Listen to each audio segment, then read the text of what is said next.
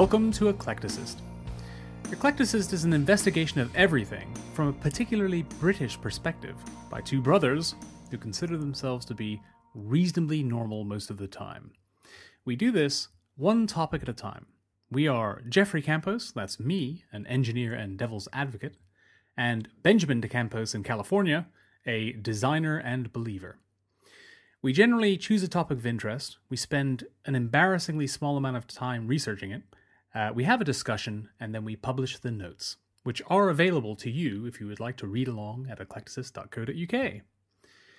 We do this because we think it'll benefit us and others and foster a general greater understanding of the world before we all die. And if you have any feedback once you've listened, please send it along to our website. The topic we're going to struggle through this time is video gaming. Wherever electricity can be found, so too the means to play video games. Worldwide youth culture has a sizable slice of its collective time absorbed by the competitive pixel shuffling offered up on a rapidly growing spectrum of hardware. From simulation to Space Invaders, arcade hall cabinets to massively multiplayer fantasy epics enjoyable from the comfort of one's own broadband connection. Games and gamers are spoiled for choice. A growth industry almost without compare. What is the state of the art and how far has it come? Who are the gamers? What of the future? Will we be tapping in our initials on our deathbeds? We are definitely not going to talk about red pandas in this episode. Uh, video gaming is weird. It's just weird. I've grown up with video games and video gamers, and uh, you know, right from the very beginning. So I've seen video games appear, and then I've watched them evolve, and it's like the internet and it's like Wikipedia. It's hard to remember before they happened. what did people do? Uh, it's so massive and so much a part of the culture that uh, it's hard to imagine a world without them. But they have been around since, realistically, they've been around since the end of the 70s. I mean, there there were a few video games, you know, that were much earlier, uh, you know, running on oscilloscopes and uh, you know experiments, but really it captured the mainstream imagination from the end of the 70s and, and just completely dominated the 80s and had lots of peaks, lots of peaks and lots of drop offs, but generally speaking, from the uh, the early seventies. Early, yeah, you've you've you've now said the early seventies. You said late seventies. Oh, I beg your pardon, late seventies. But I, I was going to interject saying early seventies. Surely, like the Magnavox Odyssey, which you've written here, I think was er, was early seventies, and we had some pretty rudimentary video game consoles that played things like Pong or what else. That's probably it that you could play in the home. Yeah, there were a few. I mean, uh, certainly Pong and some rudimentary shooting games. Um, and and I, I remember that you had dedicated devices which were which played one game, um, and uh, that was it. And if you wanted to play a different game, you had a completely different console.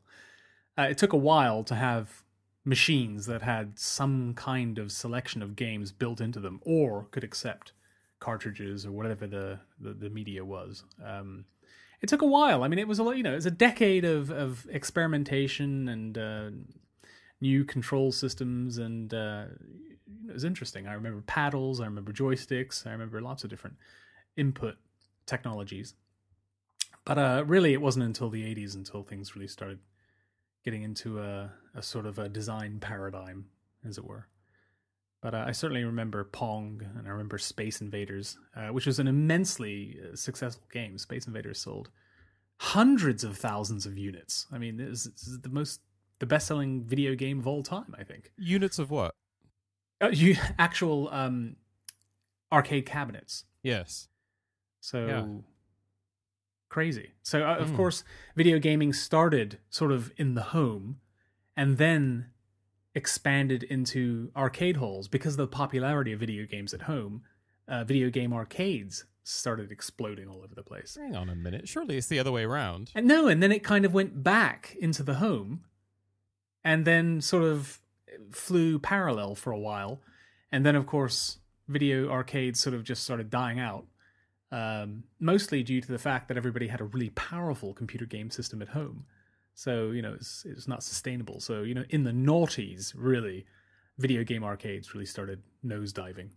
That, that seems wrong because surely these arcade machines would be super duper expensive and they would start out in the arcade halls and then gradually you know inferior versions would appear in the home well no i think it really was i mean it started off as experiments. So video games were, were literally played on oscilloscopes. Um, and then it was quite quick for electronic game manufacturers who had i mean there were electronic games around for you know a decade before video games came along. And they're very rudimentary obviously you know like simon says type things. Um, lots of bandai type games with very very simple um, processors in them uh, and then as experiments more sophisticated video gaming systems were um, developed uh, and then after that video game arcade units started appearing. And these were the coin ops. This is the coin op era. So these are video games which are designed to soak up all of your quarters. So, you know, all of your money would be sunk into these video games that were impossible. You could never complete them by design because they just wanted to get all the quarters out of your pocket, which is completely the opposite of how it is now because we're playing video games at home and you're sold a video game that is easy to complete for a lot of money. So you buy the next game installment. So it's completely turned around on its head, um, the actual dynamics of how um, the game industry is monetized. But certainly, video game arcades were massively popular.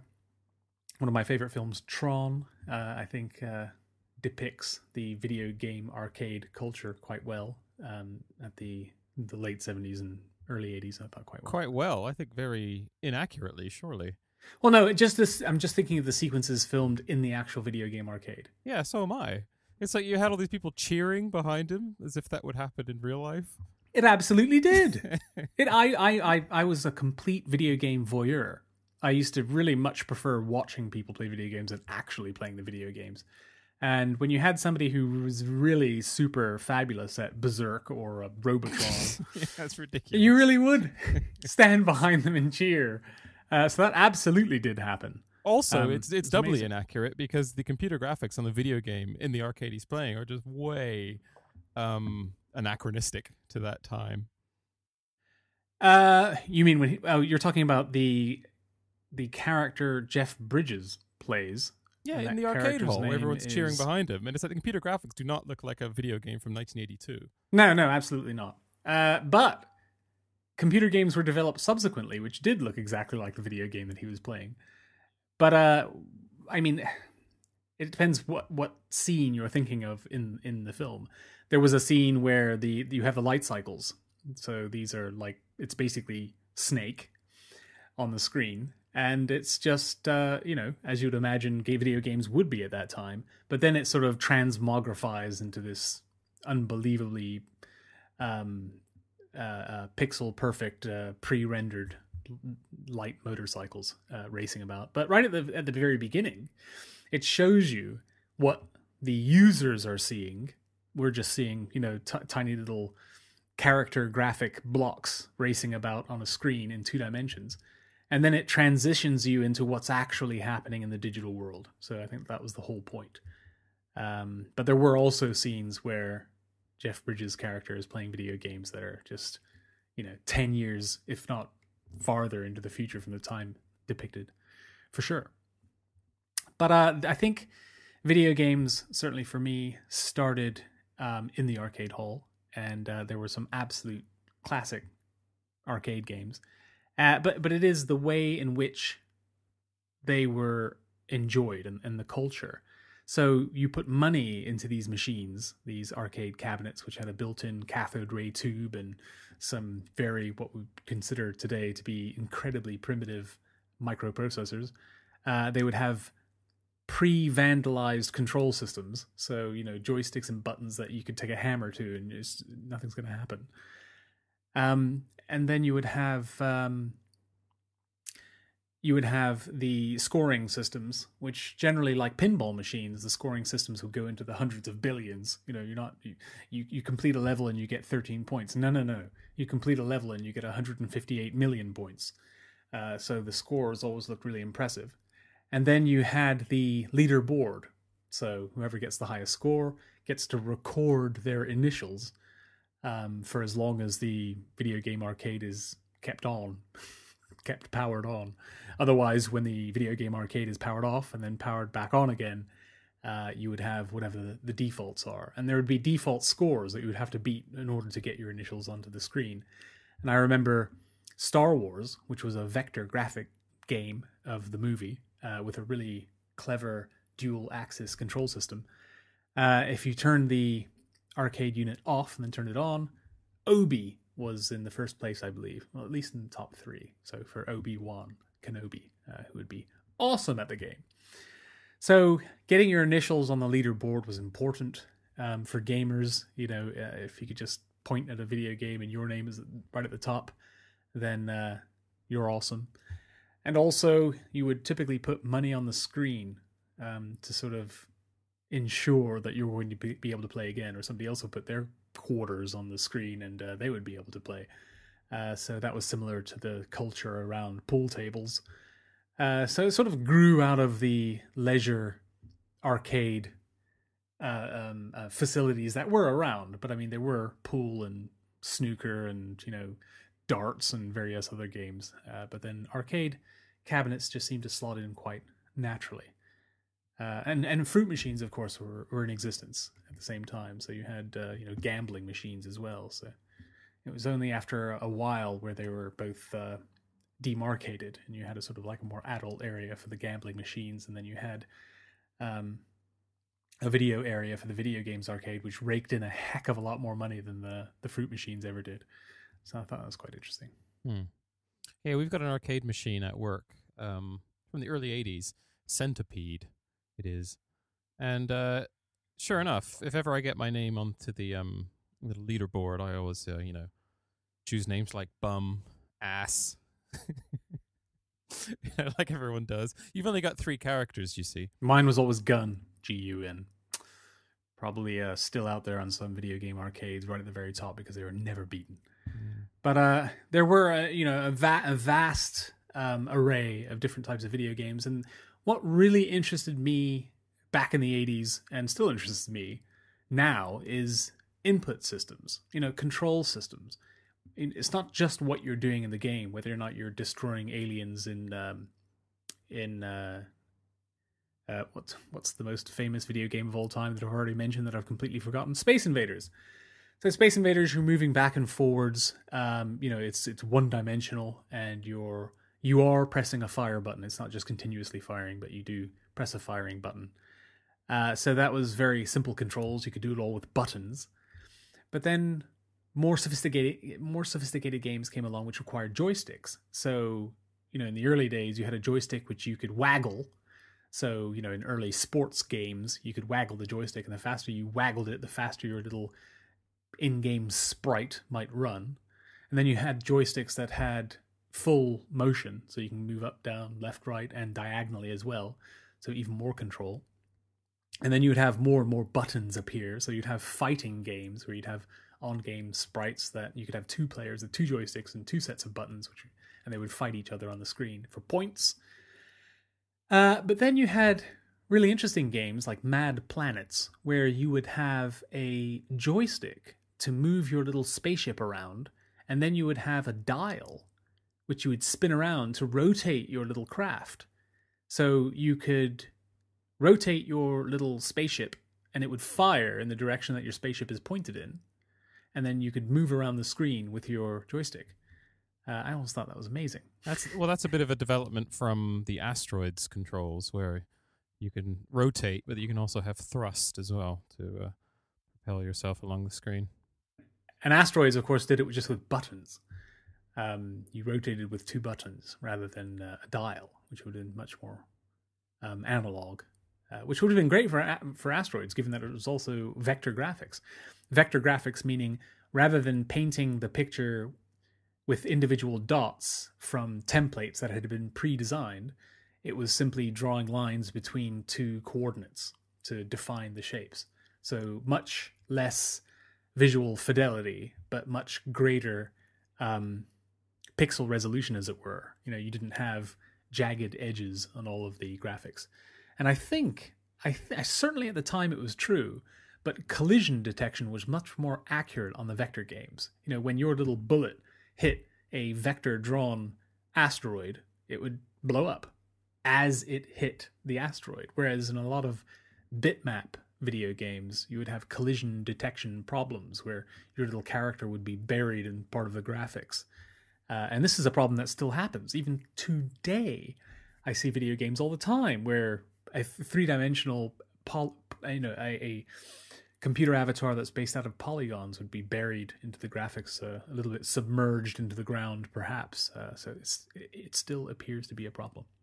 Yeah, for the layperson, the difference between vector games and the other type of games, think the difference between Illustrator and Photoshop.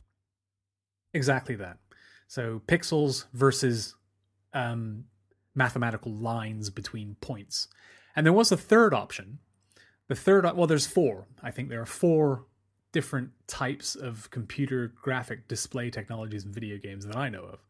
There's bitmap by far the most popular so that's individual pixels on a screen and the whole screen is sort of scanned uh, so everything's based out of pixels so much more um, detail is possible with bitmap and then you have polygons which is probably the most popular um, these days in uh, more powerful computer systems whereby it's like vector graphics you are drawing between um, points on a, a graph but it's in 3d so in 3D space, you're drawing points between lines between points, describing polygons, and then you stitch the polygons together into three dimensional shapes.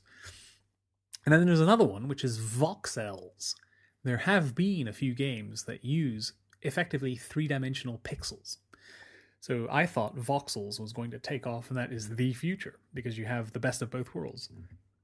But I don't think it ever took off, which is peculiar definitely the world of gaming is dominated by polygons. Well, these days, I mean, there was a kind these of days. polygon sort of revolution, I suppose. Everything was all sprite based, and then it might have been like Hard Driving, that simulator that came along, where it was just mind blowing how you could suddenly render 3D objects. You know, even though they were extremely basic and laughable by today's standards, it was still a quantum leap forward. Um, and a much different just appearance than your usual fare.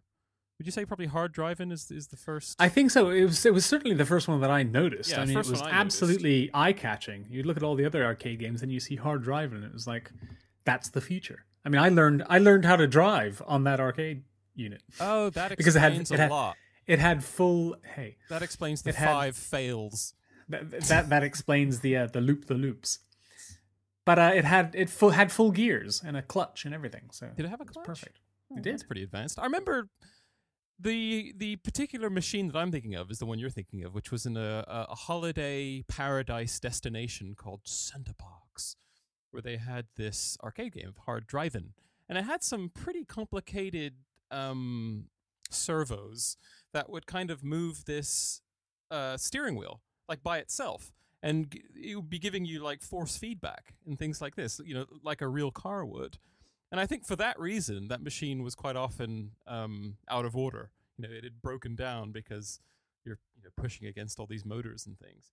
But that seemed to me way ahead of its time, and I, I can't recall any other um, polygon-based video game from before then. But though I'm, I'm sure there are, uh, I'm, I'm sure Wikipedia would be our friend here and uh, tell us what other ones there were.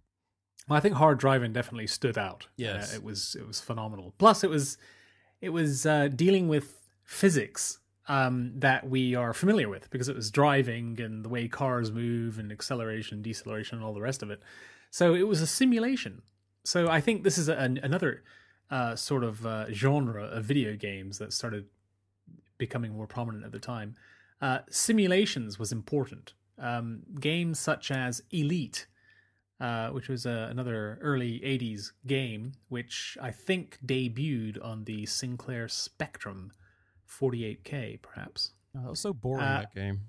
No, but it was it was simulating physics. Again, it was simulating gravity, and it was you know it was it was it was based on polygons. It was all sort of um, wireframe graphics, uh, but it was it was polygon looking, and you had three dimensional shapes in space rotating, and you had to sort of negotiate your first person perspective ship uh you know just just landing into la- cargo bays and things of other ships and uh it was dull but it was retrospectively incredibly impressive uh, it didn't particularly turn me on at the time It was a game for SWATs.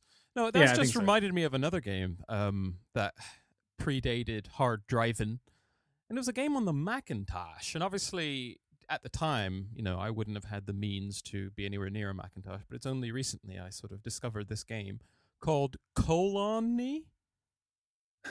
yes where i've heard of it yeah, where it's it's you're in this 3D or this um you know polygon world, uh, and it's again it's very impressive. You know, just because it seems like so modern, even though obviously it's extremely basic and from 1980 or whatever. Yeah, I think that I remember uh, very early on with the original Mac, uh, which was a black and white computer. Uh, nonetheless, there are still very good games on it. Uh, there are pretty amazing platform games, and uh, it had good sound, surprisingly good sound. We say good sound, machine. but we were used to 8-bit crappy sound, and so these are very expensive computers, the, the Macs of the day, that could Mm. actually you know have sampled voices and all this other crazy stuff. Yes.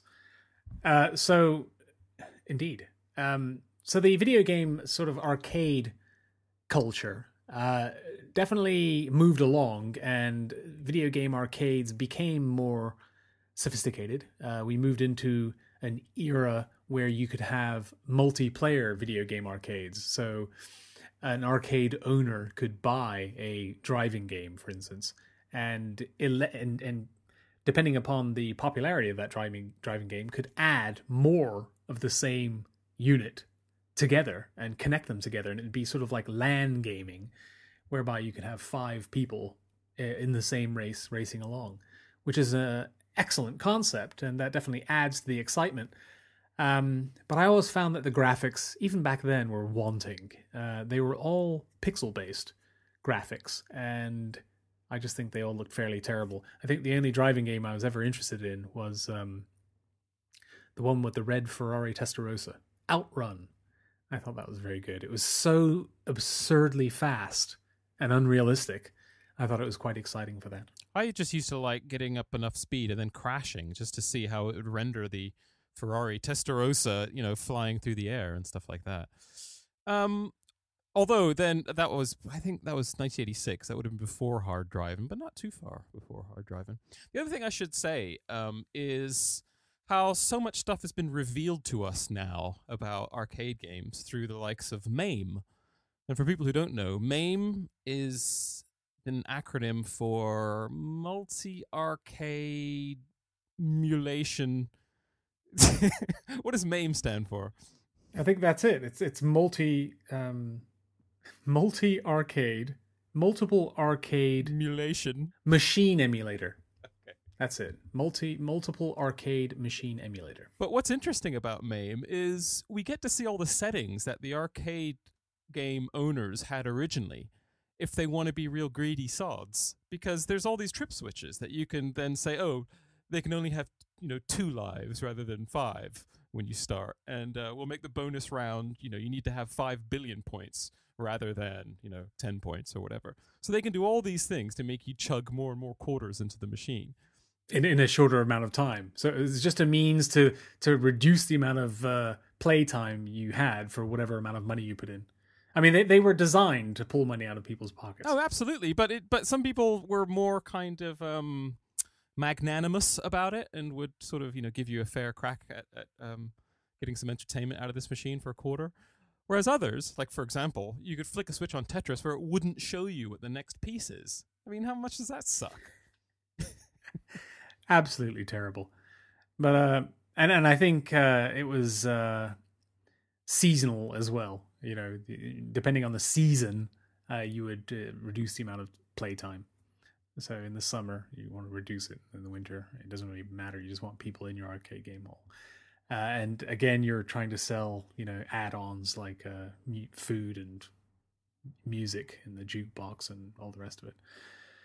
But slowly, um, video games and video game technology and programming video games um, evolved. You know, like anything, uh, people get better at things, and uh, the the end result are products that are uh, a little bit more advanced. So we can remember the original video game arcade units like Space Invaders and Asteroids and Pac Man.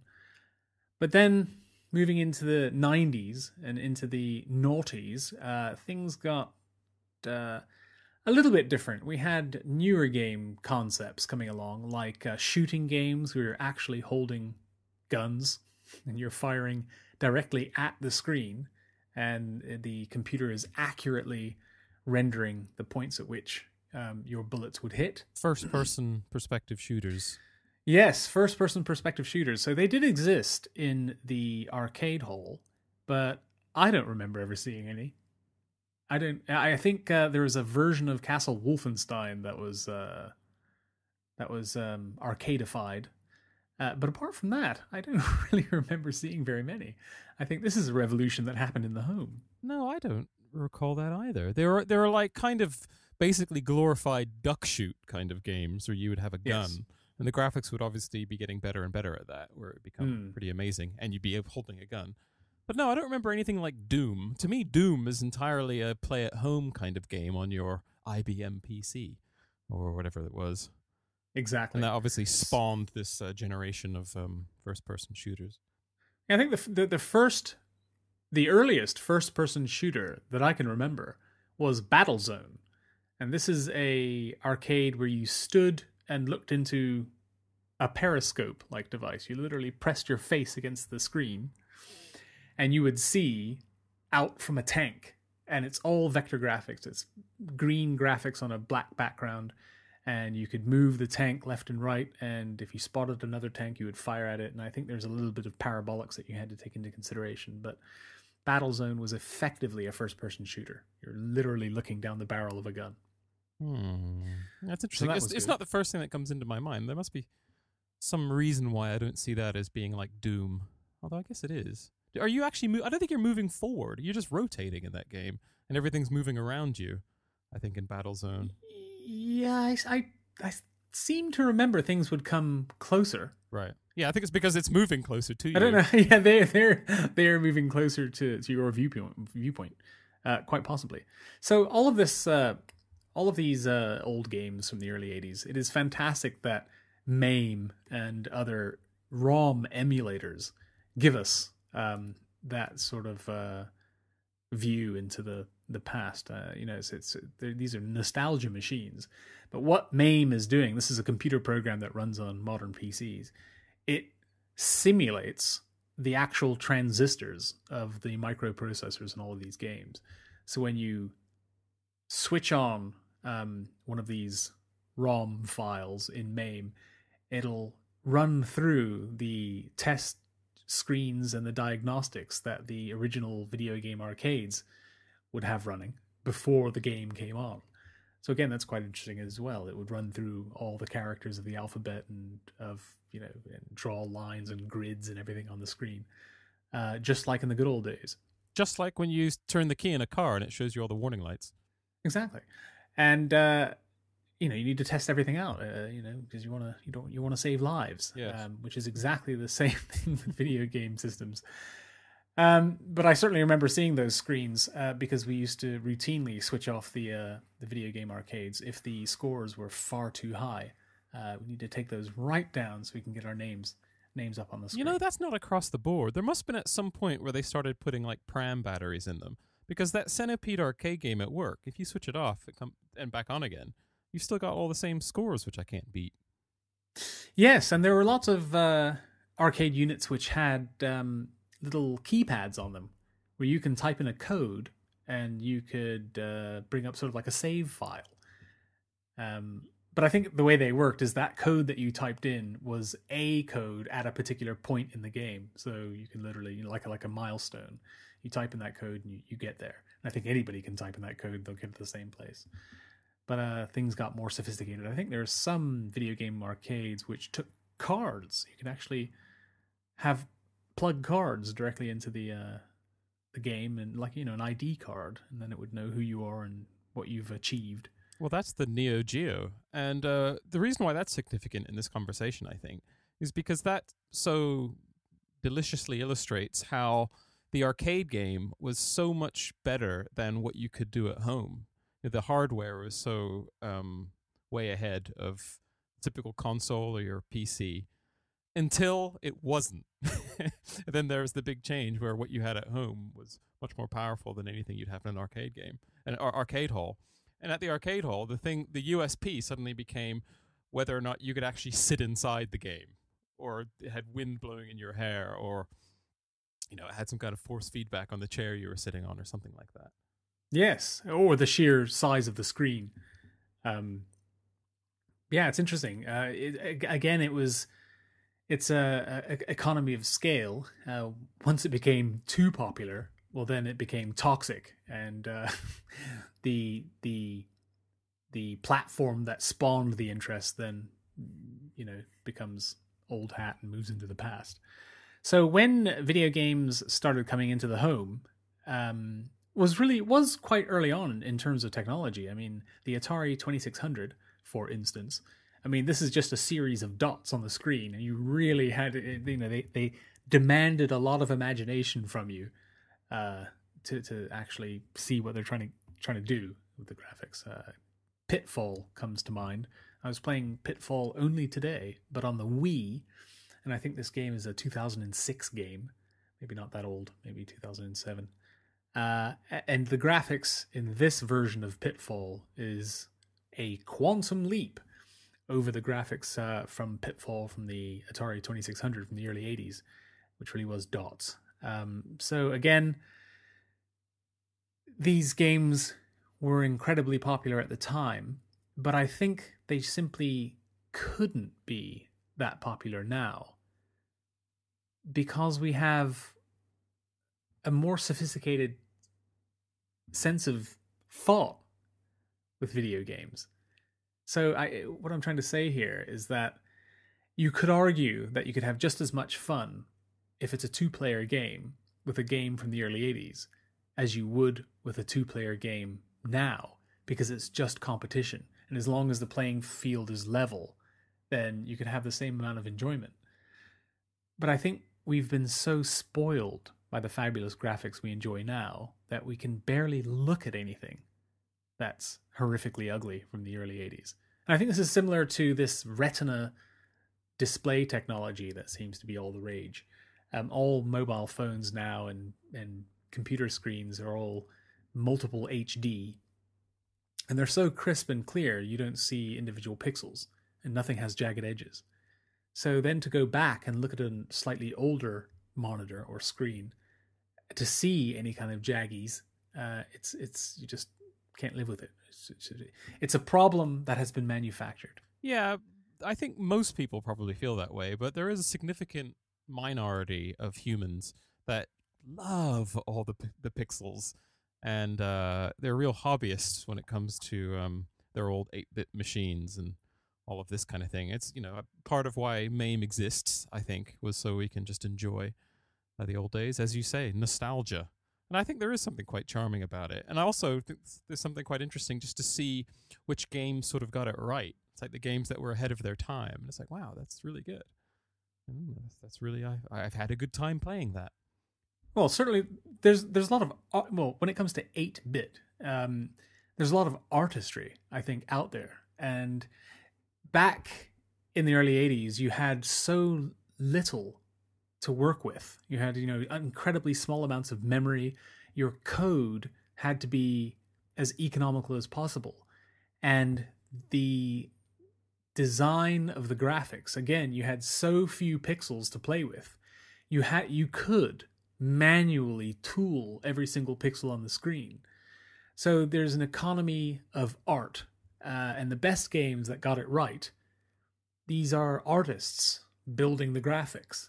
Whereas today, I think there's so much automation and there are so many pixels that really you can't you can't really get down there with a very fine chisel and uh, you know work on those Grinling gibbons uh, like you could back then. So again, the, the games that got it right, like um, Super Mario Brothers on the NES, uh, you know, the, each each little game avatar is a work of art. I mean, it really is. You look at the backgrounds.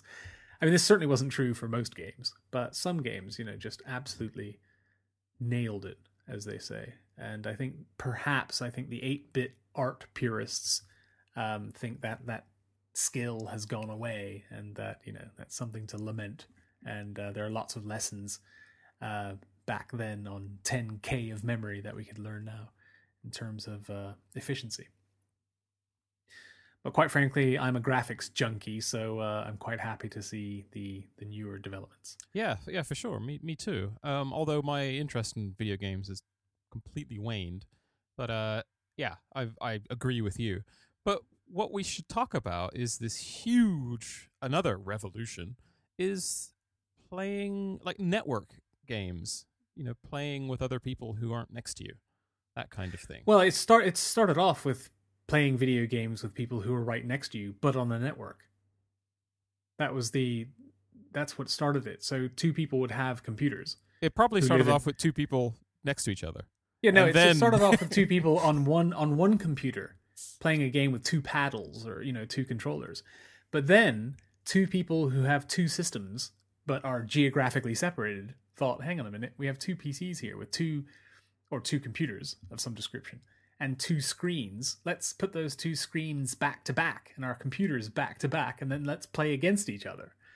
And that was LAN gaming. So LAN, local area network gaming over, I think, probably started on Ethernet. Probably wrong there, but No, but I, Ethernet think gaming, I think it probably did. I think PARC probably played a big part in that with their Maze War. But uh, even in our lifetimes, I remember the just the joy and excitement of um, tethering two Game Boys together. It's like how crazy was that? And you're kind of playing Tetris together with someone, and they're only just over there, a cable away. mind blowing.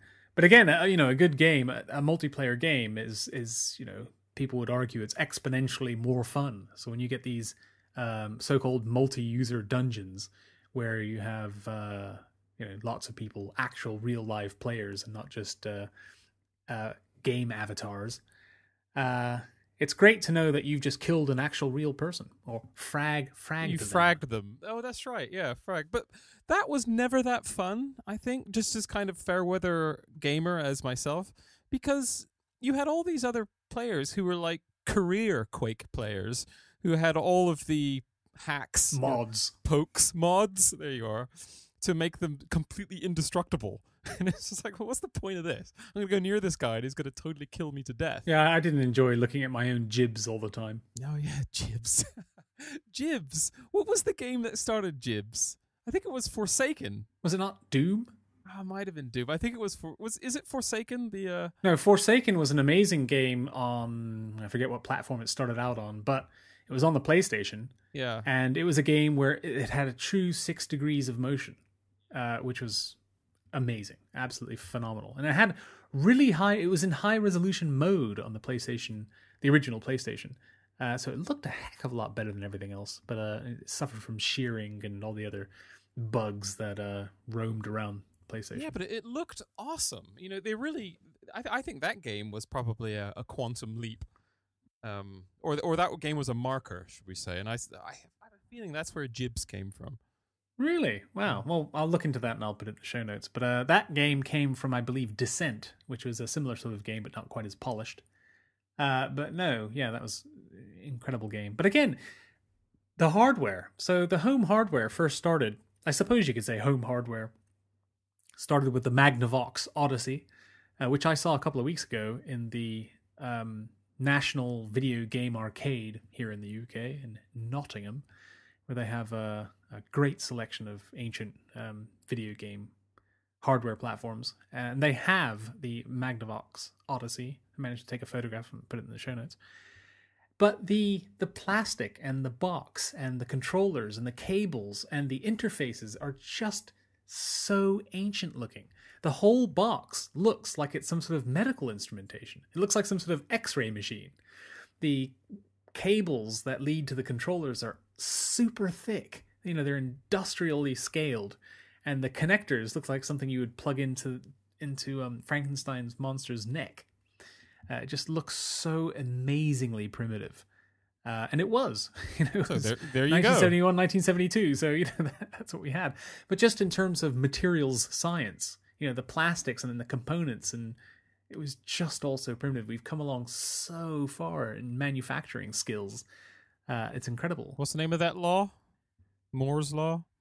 Moore's law. That's the um, the number of transistors in a CPU will double every 18 months. Okay, well that doesn't Moore's law. work. I meant some kind of law to talk about the path, the passage of technology. There must be some law. I, I, Let's make I'm sure up. there's a law. We can make one up. Ben's law. Ben's law states that things get better over time. And I think that's certainly true in computer gaming technology. So there's the Magnavox. That was and concurred by the guy who wrote that book. Um, what's his name? Pinker. Steven Pinker. Yeah, his whole book is based on Ben's law. Oh, uh, there you go. She should uh, you should uh, sue him for royalties. Uh, we had um, so there were video game systems that were all around in the 80s and the early 80s. You had um, Nintendo, of course, with their Nintendo Entertainment System, and then the Super Nintendo Entertainment System. You had the ColecoVision, uh, Intellivision, um, the Ataris. Coleco was Li- li- before the Nintendo. lot yeah in the early 80s and late 70s but uh lots of Hang on a minute. dedicated gaming Wait machines a minute. I think it's Calico. not Coleco I think it's Calico because I've always seen Calico is a town in California. It's an old ghost town which I visited, and I called it Calico. No one said uh, Calico. okay well i always knew it as Coleco and no doubt i'm wrong but it, it it had paddles which was great Well, where you're going with this, I think, is we're going to hit another benchmark or another marker, which is that console that you had, the Dreamcast, which you're able to play other players um, remotely. Well it had an internet connection. I think it was the first console that had any kind of connection to uh, a network. Uh, it was amazing. And it worked. It came with a browser. It came with internet explorer. What more could you possibly want? I, I say it probably is the first console, but like all of these things, we think that they're the first of something, and then we find out that there's some obscure thing that no one's heard of. 10 which years was earlier. the actual yeah, which was the actual first. But the Dreamcast, I think, is generally kind of acknowledged as being uh, quite a significant machine, even though it ultimately failed. It did ultimately fail. We'll get to that, but let me just mention the earlier hardware uh, platforms like the Atari 2600. Now, I remember the Atari 2600, and it had a wood effect box, and it had a a little lever. It had these little lever toggle switches, which were nice, which were metal, and it had one that you could toggle the games console into color or black and white mode, depending on your television. If you had a black and white TV, you could put it into black and white mode, and then it would do 16 grayscale levels, which I thought was amazing. I mean, that just shows you just how old these things are. You'd be plugging video games consoles into black and white televisions. Incredible. But the Atari was great because they had these uh, joysticks, which uh, at the at, at the time were fabulous, but actually were terrible. And I remember struggling with them at the time and getting RSI, uh, just trying to hold them while I'm also trying to not hold them. It was very bizarre how how they, how they were they were passed in the. I uh, think probably a lot of people got RSI because they played them for hours, and hours, and hours. Yeah, yeah. It was, uh, which was great because they were wired. You didn't have to constantly change the batteries or, or charge them up, which is wonderful. Uh, so you had the uh, you had- all of these video game um, consoles that you would plug cartridges into. So a cartridge is a, a, a box, just a memory box. It's a bo- plastic box and it has circuitry in it. And the benefit of that was that you could have double sized boxes with extra memory, or you could have boxes that have batteries in them that'll remember your game information, or all kinds of things, boxes with codes in them. But you plug these boxes into the consoles, and instantaneously the game is running and you're playing. So back in the early 80s, you'd turn your TV on, or rather, your TV would already be on. You'd switch to the video game channel, uh, because it would be a channel, and you would do that instantaneously. And then you'd plug the game into the console, and it would instantaneously come on. This is we don't have that anymore. Nothing is instant any longer. Everything takes more time uh, to switch to. It's amazing and switch things on. But back in the day with cartridges, it was instant. But then something really weird happened in the video game landscape, and that is personal computing. Personal computers came along, and that totally shook everything up. Because then, not only did you have a means to play video games at home, but you had a means to build your own video games, um, and also a means to pirate video games. So, with personal computers, you had storage devices that were able to read and write data to typically magnetic medium like uh, cassettes. And uh, being a magnetic medium, you could copy it. So everybody then I, I you know most of the sales for home computers were probably for gaming, and the fact that you could get a hold of games uh, without having to pay for them. So computers, very popular computers like the Commodore range, the VIC-20, the Commodore 64, the Commodore 128, and other variants, and then the Amiga, which is a a real marker. Uh, you had the Sinclair products, so Sinclair's Spectrum. There, I think it was a 32k and or 16k and a 48k. I forget. It could be a 32k in there as well, but they're very small, um, absurdly expensive, like all computers were back then. Um, No, they weren't. they were like 400 pounds or something. Relatively speaking, I think that computers were expensive. No, relatively speaking, they weren't expensive when you compare them with other computers. It's like the the the home computers, like the Oh well, yeah. the- If you compare it to a Cray or something. to, yeah, no, no, no, really- to an actual computer that you would do work on, like you know the Macintoshes of the day, for example, which cost thousands and thousands of pounds. Yeah. So okay. So relative to the computer hardware at the time, sure, but relative to how much we consider spending on computer hardware today, I think they were very expensive. I mean, I was lusted after the Sinclair QL, which used cassettes, like most of the personal computers back then, using actual magnetic cassettes, but it didn't have reels. It just had the cassette tape loose inside little cartridges. What? Yes. What? Like an eight track? yeah, exactly. It's just a loop of free free to wander tape inside these tiny micro-sized little That cartridges. sounds insane. it Uh, was that- insane. That, that sounds like a, a dead end. It's like you'd want to do something that isn't proprietary. It was a dead end, like like most of us. I've, no, I've, I've never heard of it. I'll have to Google that. Um, and then you had uh, you had c- personal computers for schools. In the UK, we had the BBC range, um, the BBC Micro, the Acorn, the Archimedes, which nobody could afford, nobody had, and you had the uh, slightly less expensive um, Acorn Electron, and these computers were fabulous for building your own games and building your own robots and they would accept you know all sorts of interfaces and they were amazing. Um, just last week i was at uh, the video game arcade as i mentioned and they had a bbc micro there that you could just go and program so you know i wrote a little program you know a basic one with a couple of variables uh, 10 20 30 you know that sort of thing it was fantastic you know you really had you had this basic operating system uh, that you could really understand because it was so basic and uh, really get your juices flowing for the idea of building your own games. And of course, lots of people did. Um, the BBC Micro is interesting, actually. The BBC Micro, the Acorn, Acorn Electronics, they, they made very, very, very powerful computers that were way ahead of their time. And uh, that company founded ARM, who basically they make chip designs. Every mobile phone. yeah, and they ARM. license they license their chips, and they rule the world pretty much. You know, every mobile phone seems to have an ARM based um, design, and uh, Apple had an awful lot to do with ARM development. I mean, they were pretty much, you know, they contributed so much to that company, uh, but they somehow lost control or lost shares in the company. You know, they had like fifty percent of shares in ARM in the early days, and then kind of lost them all somehow. I'll have to read it read up on that, but uh, it's peculiar. Um, Apple was very close to ARM because ARM used this uh, new way of efficient coding in chips called RISC, reduced instruction set computing, and it gave it, you know, you, you needed less instructions, which means less power. So they were more efficient and you can do more. And uh, that's where it all came from. So way back then, when people were programming games for the Archimedes, for instance, uh, you know, the, the future basically of gaming and, and that company was was bright because it runs most of the games people play these days, which is of course on their mobile phones.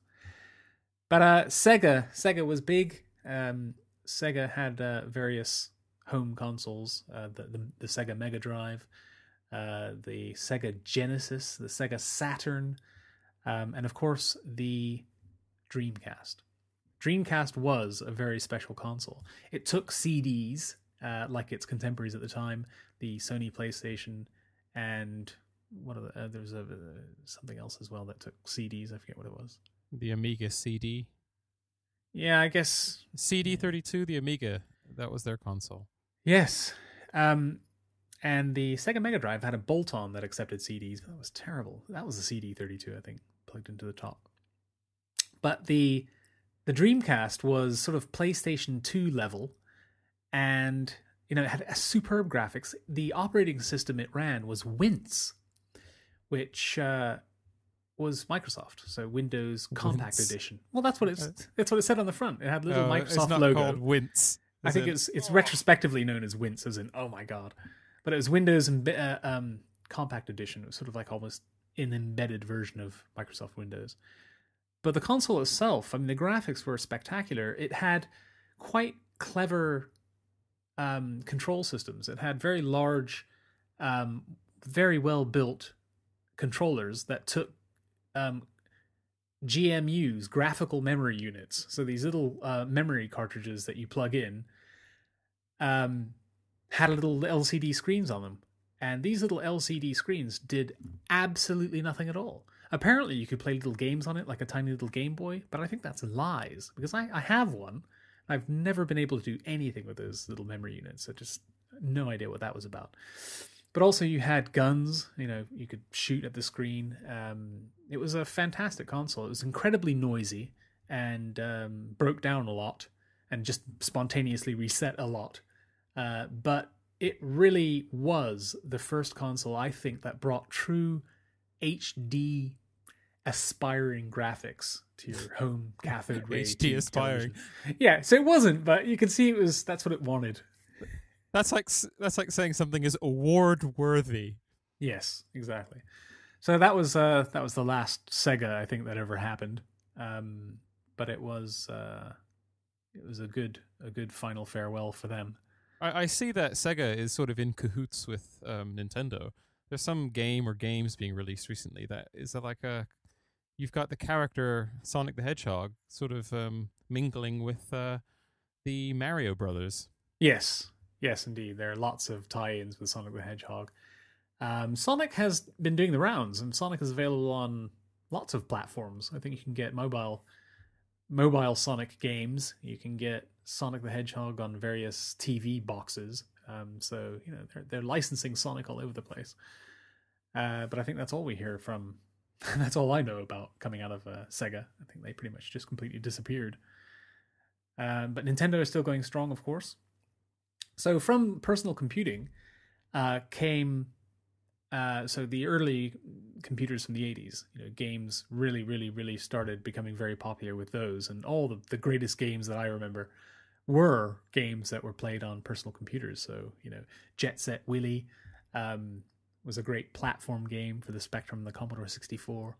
You know what? I I think I'm gonna have to interject here with uh, like a little glossary kind of interjection because personal computer just doesn't sound right. It's it sounds like there's a difference between home computer and personal computer in the context that we're talking about.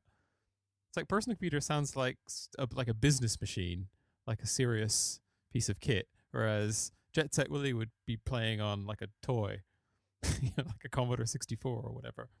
Yeah, but there were productivity suites for the Commodore 64. Yeah, I guess there were. People did, you know, balance their books on them. They were they were computers. Well, speaking of that, you mentioned earlier about piracy, and I think piracy is probably a big part of the demise of a lot of these machines. I mean, I think th- there's some chatter generally going around that piracy is what killed the uh, the Amiga, because I mean, you said the Amiga is a very significant or very important machine, that died so spectacularly. Yeah, there were certainly some fantastic games for the Amiga. It was an incredibly powerful machine at the time. It was amazing how powerful that was, considering you know the whole computer was built into the keyboard.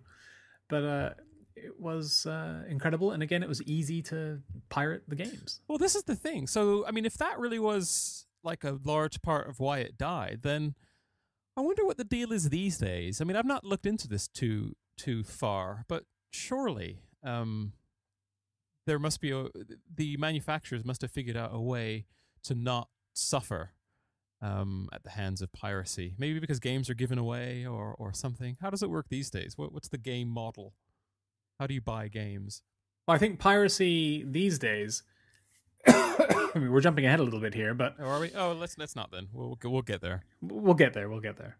But um, going back to the early hardware. So I say personal computers, but I suppose I mean, they were they were personal and they were computers. That is to say, these are computing devices that have CPUs in them, and a CPU is a, a general purpose computing uh, com- computer unit that you can use to do lots of different things. Not just play games, but also look at spreadsheets and write programs, and not a computer games console. But, but I think when someone talks about a personal computer, it's like even when they're talking about in, in a retro sense, they're probably not talking about a Commodore 64 they're probably talking about an IBM or something like that. Uh, I I, I see where you're going. I, I understand what you mean. Yes. Um, I might be wrong. I don't know, but I, I people did use Commodore 64s for business. But I think right? they were home computers. They were home computers, but they're still personal computers. I guess. I think this is again what we're going down this sort of semantic hole here. Um. Okay.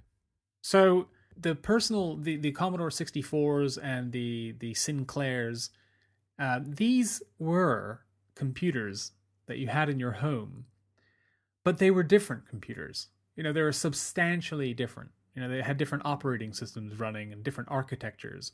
So they it was difficult for developers to build cross platform games. But then windows came along. So microsoft came along and Microsoft really did um, enable manufacturers to homogenize the software layer and the gaming layer. So it was easy to write a game for a computer that ran Microsoft Windows because you know how to write the the actual, you know, assemble the code on the Windows level of abstraction. In the very early days, video game developers were against Microsoft because they wanted total control and all the power of the computer at their disposal. They wanted direct um, I/O with uh, the graphics facilities of the computer, for instance. So you had a lot of so-called DOS games, which would run in the you know much lower level uh, operating system uh, by Microsoft DOS, and it would sort of switch off your Microsoft session, your Windows session, and you would run a game effectively, you know, at the lowest possible level. Uh, but then a while later, Microsoft prevented that from happening, and you had to use you you had you could only communicate with the graphics drivers, for instance, in the graphics cards, by speaking to Microsoft. So then Microsoft sort of just owned all of the PC platforms except for the Macintosh computer because the Macintosh computer was had its own operating system. Um, but there were so many PCs out there and so many people had these computer platforms and it was it was really profitable to write video games. Uh, and this spurred the power, you know, the the power of computer uh, personal computers because you know you wanted more power to play better video games. So I think video games definitely had a large part in the rapid um, ascension of computer power computer power to the to the godlike point it is at the moment. Moore's law. Um, Yes, indeed, and and video games were certainly a driver, and the best video games were on PCs. You know, the the PCs were far more powerful than any video game consoles at the time. Uh, so if you're into anything serious like simulations, uh, flight simulators, and um, driving simulators, um, and first-person perspective shooters, uh, you would always want the best possible graphics card, and you want to have a box that you can run the game on where you can upgrade the components individually more RAM, more storage, better graphics, bigger telly, you know, whatever it took. Uh, so the the gaming revolution on PCs, I think, definitely was a revolution. Of course, we had the LAN gaming element uh, as well. You know, this is all before the internet came along. Uh, the internet, when the when the internet first appeared, it was so slow that you couldn't possibly really do anything with any fidelity as far as gaming across it because uh, you know you had a a 56k modem if you were lucky. Yeah, you'd have a 32k modem. Yes, so uh, you know it took a long time before sophisticated games were able to be uh, uh, to be jointly played uh, across the internet. Uh, but it, it, certainly got there. Just wanted, just wanted to mention a few of the game styles. So throughout the decades, uh, there still aren't that many types of games. I mean, we're still dealing with a screen. You know, everything's a two dimension as far as our perception of them uh, in reality are. You know, we're playing on screens, and uh, we're not immersed in three dimensional worlds yet, unfortunately. Despite the efforts in the 80s and the 90s to try and bring virtual reality to the mainstream, the technology just wasn't there, and it was always disaster, and it was awful. But even now, really, we're dealing with a screen. Um, so we have two-dimensional games, games that are across section. So they're like a platform game. It's a good example where you have a side view of all of the action. Uh, they were very popular in the 80s and then died off quite quickly. Uh, everything went polygons. Uh, when um, I think it was uh, Nintendo's uh, Mario 64 when Mario 64 came out on the Nintendo 64, uh, I think that opened the floodgates to all the other platforms to start just only producing polygon based games. Uh, and then 2D games kind of sort of dropped right off. And it was only Nintendo really that just kept it going with the Mario um, series of games. So you have 2D and 3D sort of platform games. You have first person shooters, which are just absolutely massive. Just they're just so big. Uh, it's incredible. Uh, mostly war games like Call of Duty are just so incredibly popular with kids, um, and they're getting so realistic that you know I just a 12 year old playing a certificate 18 first person shooter with unbelievable realism is, is a problem, I think. And then you have simulation games, games that are trying to simulate real world physics or, you know, real world effects. Um, so flight simulators, driving simulators, as I've mentioned. Uh, you have click-based adventure games, which are still quite popular. So I think of Myst. Myst comes back to me as one of the really popular, originally a Mac game, I believe, uh, from the 80s, where it had really beautifully gorgeous pre-rendered static graphics, and you sort of clicked around to try and solve puzzles. Um, and then you had God games, so these are games like Civilization and SimCity, where you build a an empire or you build a city or you know you have a sort of a god 10,000 foot view of a landscape and you have to try and manipulate it in certain ways.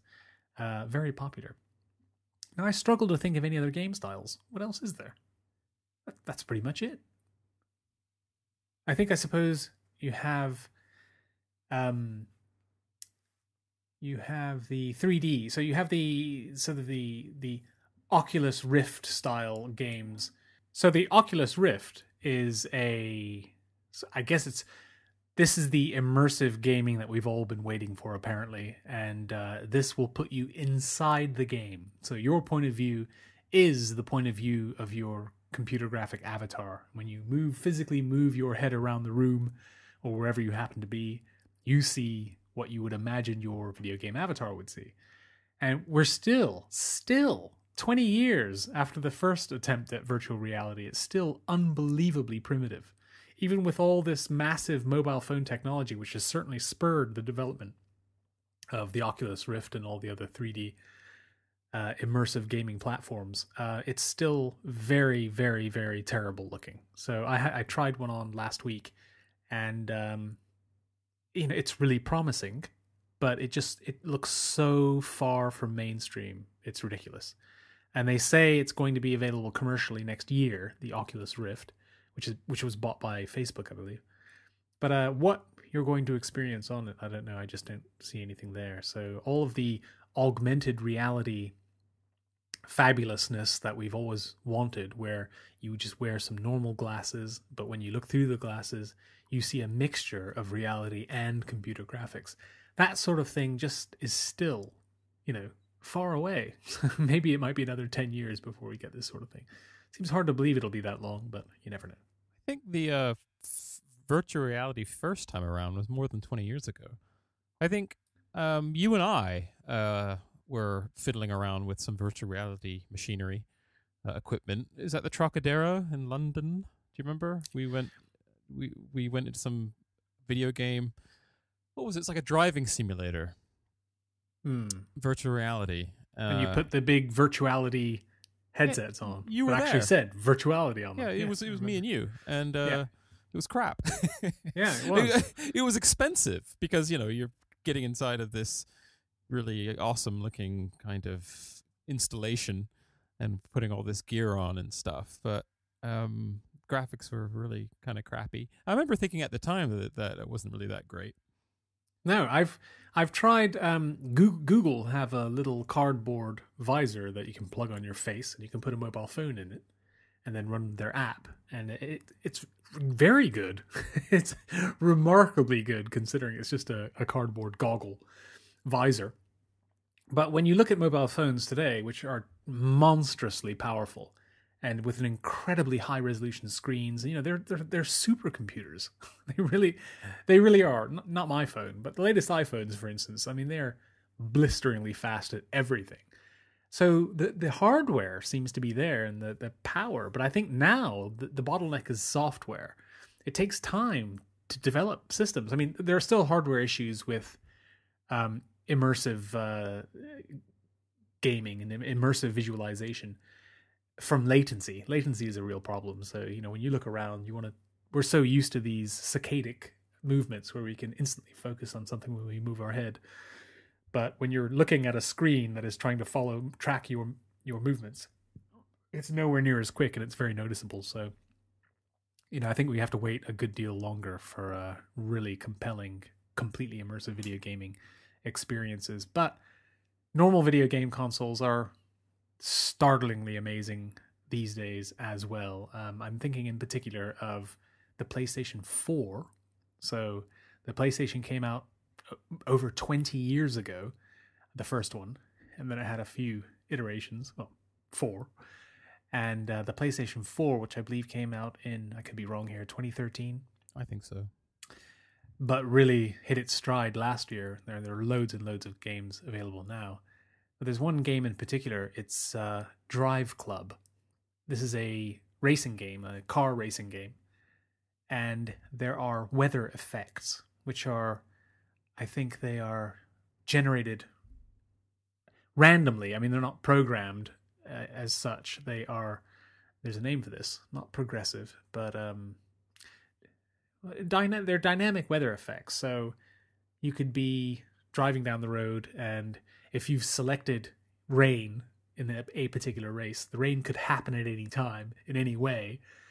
And uh, when the rain starts hitting the windscreen of your car, it moves and shifts with the the the, the wind, and um, you know when you turn the car, the you get streaks of water across the windscreen. It's incredibly realistic. I mean, it's just jaw droppingly realistic. Uh, so it helps when the graphics are in a simulation. It really helps when the simulation is accurate. You know, with the physics and the all of the real world effects that you're you're used to that you take for granted. And I think that's something that the computer games are really really starting to to get down. And I think it's amazing. I've always been interested in the Gran Turismo series of driving racing games on the PlayStation. Um, the latest one for the PlayStation 4 has yet to come out, but all the previous versions did superb jobs simulating um, physics and you know oversteer and understeer and sliding and acceleration, and it's just really really convincing. But now we it's just all about the control. So the control input devices, I think, is where we need to focus to get a, a really good steering wheel for Gran Turismo, it's uh, 500 pounds. really expensive, but it's going to be. You know, if you want the best possible input, then uh, you know you simply it's a hardware cost, and you know so it's it's a consideration. So, but uh, there have been a lot of really good experiments, and some have really paid off. For instance, the Wii by Nintendo. They, I think, they were the first to bring out sort of accelerometer controllers, where you had a combination of infrared and um, I think maybe it's Bluetooth, some sort of wireless connection for accelerometer telemetry. Uh, so what that would give you is you basically are holding a magic wand, and you can point a cursor at the screen, but you can also shake the magic wand, and you know things will happen on the screen, um, which is incredible. I still think the Wii is is an amazing, massive leap into the future of video gaming just for those controllers that they developed. And I think uh, the other console manufacturers brought out similar controls, which were probably much better, but they were nowhere near as popular as the Wii when it first came out. Mm. Soon petered out, but uh, it was amazing when it first came out. It was huge. Yeah, I've not heard much about Nintendo, but um, I'm guessing that they're still like a force to be reckoned with. They are. I mean, they were the, one of the first players in the video game console scene, the very early '80s, and they're still no, around. but there was like um like a real divide. It's like you had like the Xbox and the PlayStation, you know, higher numbers of PlayStation, the 3 and the 4, and they seemed to be real heavy hitters. And Nintendo was kind of this kind of toy place uh, toy games console for like kids with uh cutesy games. Yeah, for a younger audience. Yeah. Is that still the case? I think it is. I, I think the reason why PlayStation and uh, now Microsoft's Xbox um, sold more consoles is because they're for an older audience, kids who are more likely to get those consoles. Whereas the Nintendo products are sort of pointing towards much younger children where the parents are umming and awing whether to get them a video game console at all. Uh, should we do that? Is it a good idea? Is it a bad idea? The pester power isn't there as much as it is with older children and teenagers. Uh, and certainly, you know, teenagers are able to buy them themselves. So, so for sure, even now, Nintendo are still squarely pointed at a, a much younger audience, and you know, their best-selling games are all this in the Super Mario series.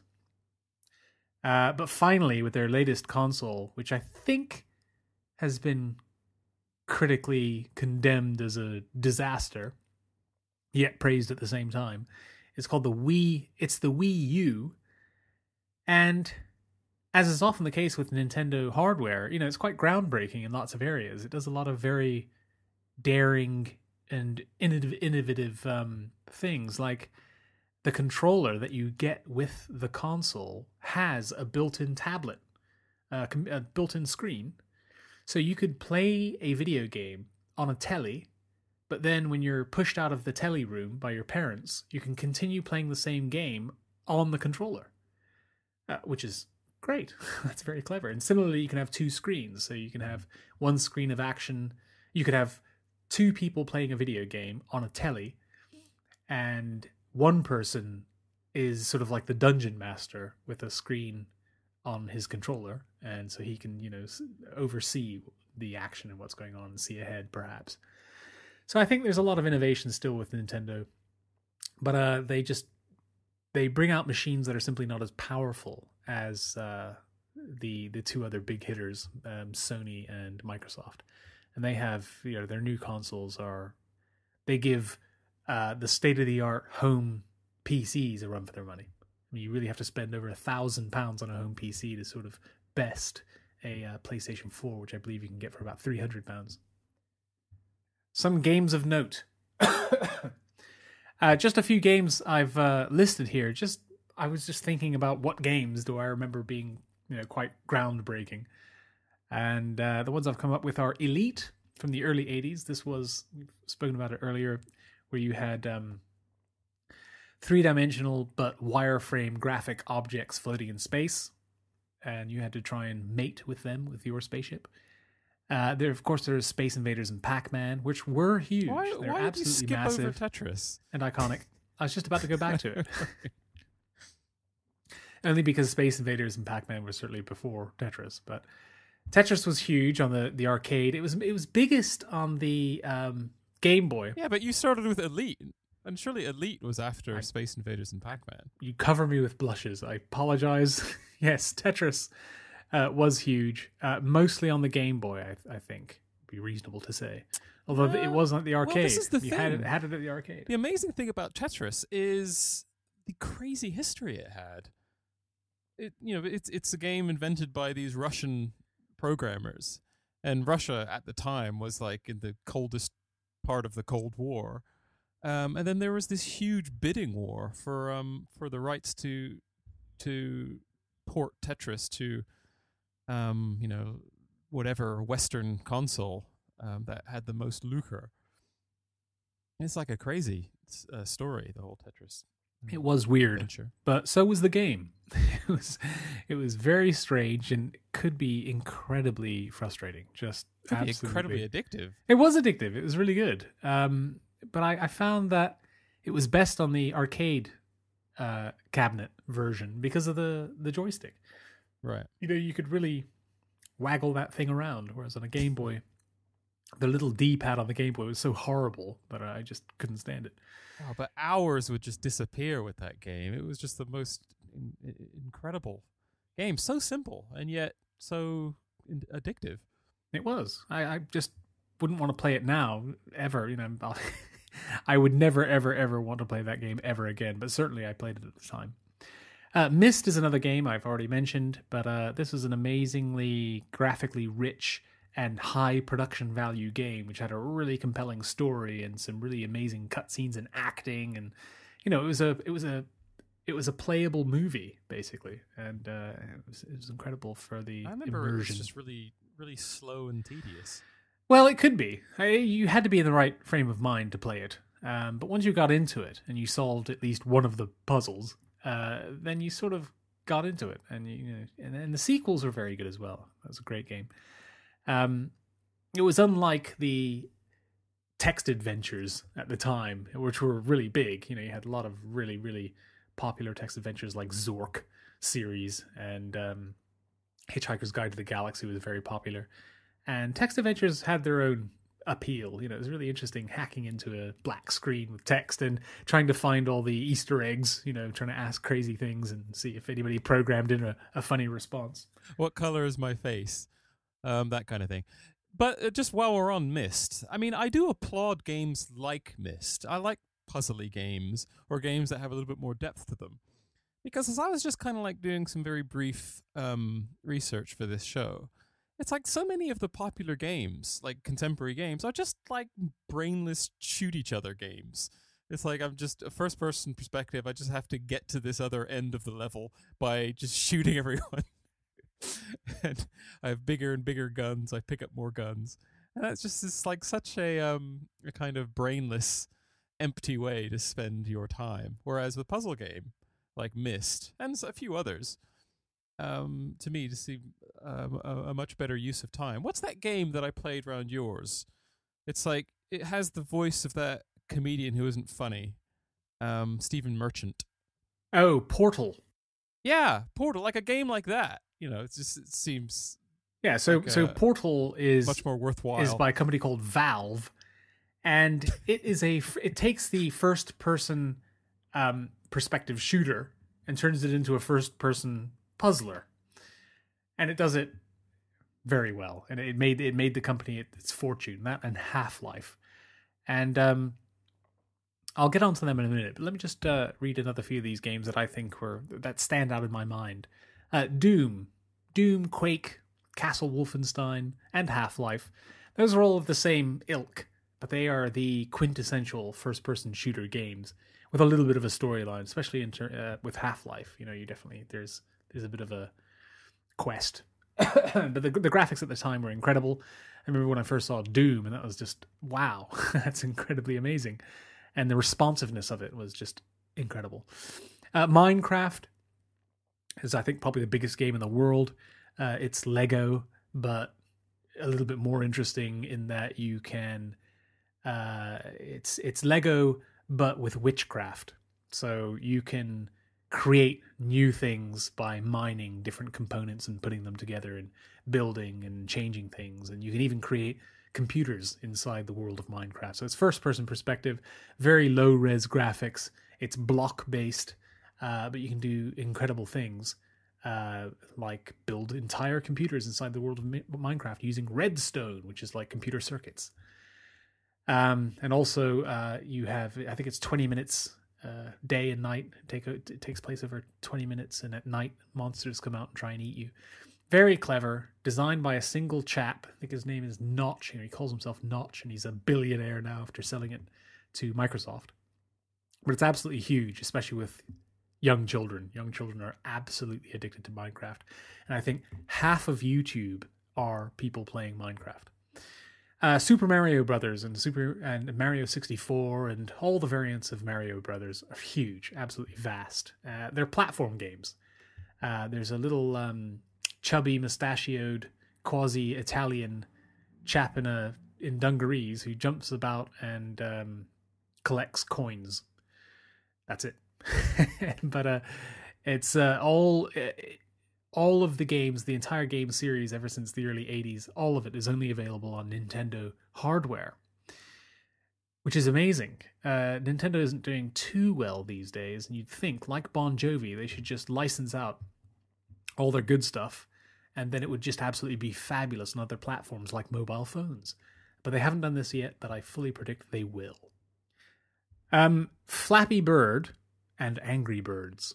So the only link here is that they have birds in the title, but both were huge. Angry Birds made that company millions and millions of pounds, and it's a very physics based 2D game where you throw objects and they follow parabolic curves and they do damage.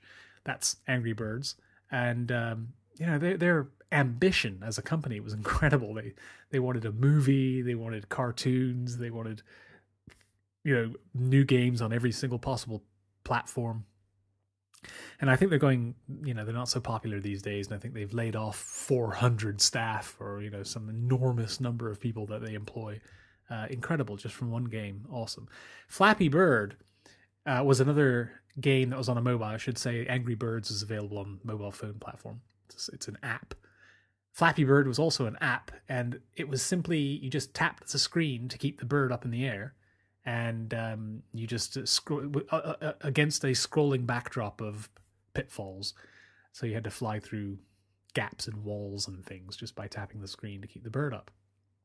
But it became it went viral as an app, uh, allegedly because the programmer, who I think was a Vietnamese chap, could be wrong there, they suspect he drummed up a viral amount of attention himself like sort of positive reviews for his own software times 10,000 and it went viral he made it go viral this game uh, just by uh, deft marketing techniques.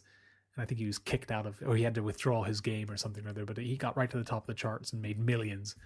And people suspect not because of the game but because of the um, his ability to game the system which is quite interesting Candy Crush is a super addictive mobile game where I think it's like Bejeweled. Uh, huge though. I mean, whenever I'm on the London Underground and I see anybody with a phone, I look at what they're doing, and usually they're playing this game. Even now, it's incredible. It's been out for ages. Farmville is another big one. This was a game inside the walled garden that is Facebook. So it's a game where you have to build a farm. I've never played it. I don't know that much about it, but from what I gather, it's so addictive that you have to and the way it works is that you can only do certain activities at certain times of day or you have to wait a certain period of time before things are unlocked or you're able to do things. So people were waking up in the middle of the night to accomplish tasks in their farms. And when asked why are you doing this? How can this possibly be fun? It looks like work uh, they would usually agree and say it's a massive burden. It's cost me hundreds of pounds to maintain all of the in-app purchases and um, plugins and, and whatnot. So incredibly popular. I think it's completely disappeared, but it was vastly successful uh, inside the Facebook universe. And then the last one, and I'm missing out billion games here, but these are just ones that just popped in my mind, is Portal by Valve. Um, it's a first person puzzler. It's really glossy, really clever, and super, super addictive and made them an absolute fortune. And this takes us straight to where I wanted to get to, which was Valve. So, this is a video game producer who then built a video game distribution platform called Steam. And Steam is super duper huge. So, Steam is like an application you download onto your computer, whether it's a Mac, a Windows computer, a Linux computer, it doesn't matter. You download their application, and when you open it up, you have something akin to the Amazon website. You can buy lots of games, you can speak to other game players. It's a whole social network. And when you buy games, you download them to the computer that you're currently logged into, and then you can play the game. If you go to another computer or buy another computer, you just log into your Steam account, like a Netflix account, and then you have all of your content there. All the games you've purchased are there. You can just download them again and play them. So it's a video game distribution platform par excellence, and it works beautifully. I have it on my Linux computer. And now they're they have built a console. So they have a PlayStation like console available. Um, and it's just a you know, it's a PC in a box, but it's meant to be plugged into your television in the living room.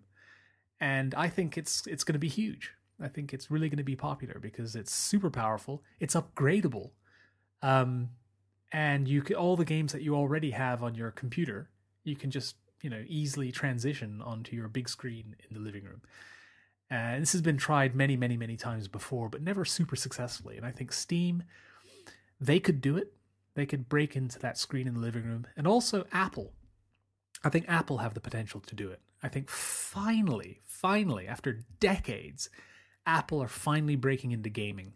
And they're doing it with their new Apple TV, which is an immensely powerful computer based on the chips in their mobile phones. Um, but their model is clever. They're ba- they're bringing all of those apps, you know, the millions of apps they have on their mobile platforms. They're bringing the ones that can be brought over onto uh, their TV platform, TV OS, and uh, I think uh, they could well just take all the game uh, revenue from uh, all the other big players. I think uh, watch out. Apple is in town. Steam is in town. You know, the, the fight for the living room is only just begun. I think. Just one more point on culture. I think we've covered culture quite a bit, but there's a phenomenon uh, known as the YouTube video game playing celebrity. Uh, the biggest celebrity here is a, a, man who calls himself PewDiePie, and he plays video games for a living. He plays any kind of video game, and it's picture in picture, so you can see his very charismatic face, and he talks all the way through playing the video game. And he gets over 10 million subscribers to his YouTube channel, I believe. And the number of video games being played on YouTube is so immense that YouTube now have a dedicated channel for gaming, just like another gaming channel called Twitch, which is immensely popular. It's recently been purchased. I forget who bought it. But there's a real culture to watching other people play video games and recording video games and uploading them so people can watch you playing video games. So I was a video game voyeur when I was a kid. I like watching people play video games as well as playing video games. Uh, but on YouTube, it's absolutely massive. There are millionaires out there who, who are paid purely through advertising just to play video games or comment on playing video games. It's not even competitive. There, there's also a um, competitive video game player. So you know the the very best person at any particular game uh, can go up the ranks and actually win prize money. This is really big in the Far East, you know, in Japan and uh, Korea. This is huge. You get professional video game players just like you get professional poker players. But it's the video game celebrities who who record themselves playing video games, which is really amazing. Uh, it's just so popular. You know, there's just so many people out there who are interested in watching people play video games. Uh, so it's a really big industry, you know, from every angle and every way. Uh, video games are never going to go away. They're going to get bigger, more interesting, more immersive. more people are going to get involved, probably at younger ages, and we have more platforms upon which to play them. So I think uh, the future is very, very bright for video games. And I've actually been trying to play more video games. I, I've fired up my old PlayStation 3. I've bought a couple of games for 50p each for the Wii. Uh, and I have quite a few games on an Amazon television box, which work really well with proper game controllers and everything. The only the only platform I'm missing out on is a mobile phone platform for gaming because I have a BlackBerry. There's no such thing as a game on a BlackBerry. I'm afraid to say. Did we cover everything? I think we did, and it's been like a bumper show. We're up to like an hour and a half. Good grief. Sorry, listeners. Well, you have been listening to eclecticist.co.uk.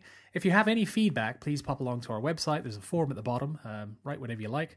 Send it in to us, and if there are any show suggestions, that would be great. Um, we're happy to think about that and uh, perhaps record a show in the future.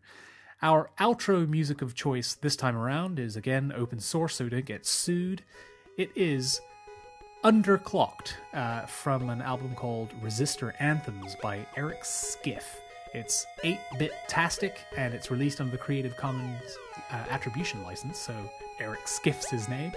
Uh, check out his website, it's on the show notes, and it sounds something like this. Thank you very much and good evening.